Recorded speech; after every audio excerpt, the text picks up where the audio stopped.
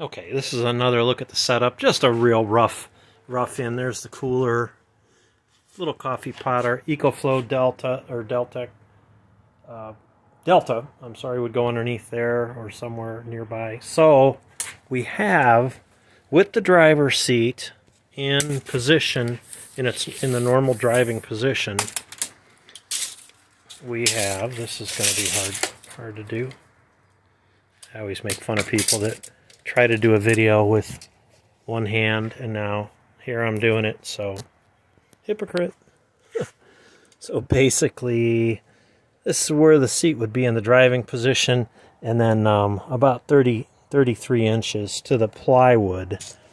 The problem is when you un unfold these seats this I'm going to have to have an extension come out or part of this to, you know, flip flop, pull out so that our seat, our feet will be supported. But let's look at that. Let's see how much room that leaves us. Sorry about that. That was a bit of a disaster. So, flip this up. Then, push that back into the sleeping position. So then you only have that much room.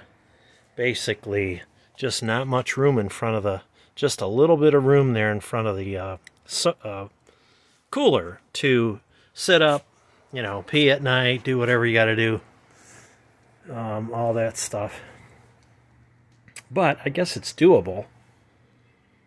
I think I'll try it. Try to take a look at this again course, like Carrie said, just, you know, we would move the seats up at night.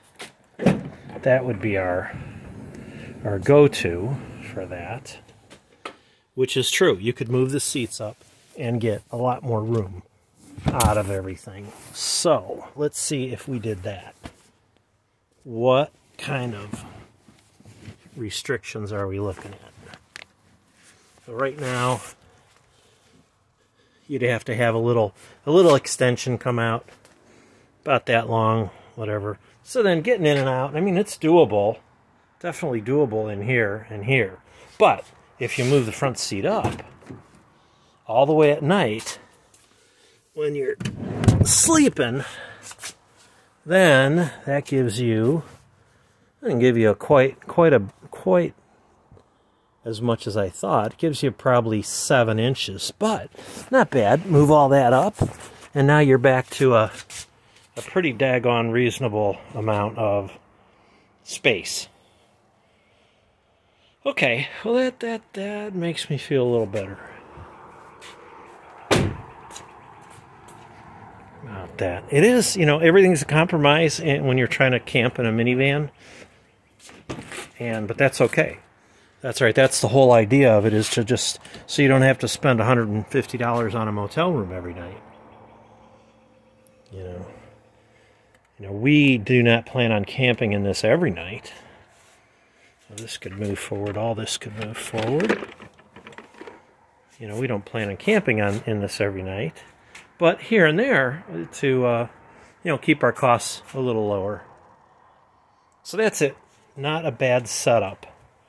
So with that whole thing like that, and in the sleeping position, you have, you know, you've got about a foot. About a foot there. Back and forth. Anyway, that's it here from the Motel 6. Or the Motel Pacifica, as the case may be.